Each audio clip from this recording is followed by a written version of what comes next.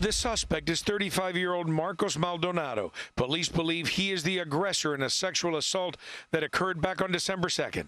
Culver City Police Department detectives have worked diligently to locate the involved suspect in this case. It happened in the Blair Hills area of Culver City. Investigators say between 2 and 3 in the morning, the suspect entered the home through a sliding glass door. Surveillance video capturing this image. He was arrested heading to Northern California. Yesterday, through DNA evidence, the suspect in this case was identified and quickly arrested on the 5 freeway after leaving a downtown Los Angeles area hotel and boarding a bus headed towards Bakersfield.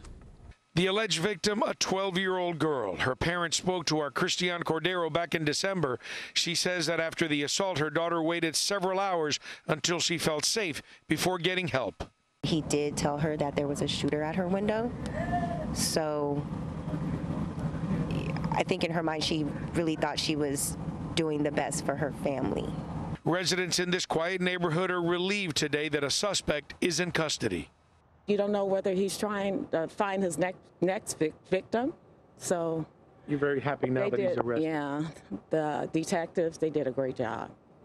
Investigators say they're not aware of any other possible victims, but now that the suspect's identity has been released, they're asking for anyone with information about the suspect to come forward.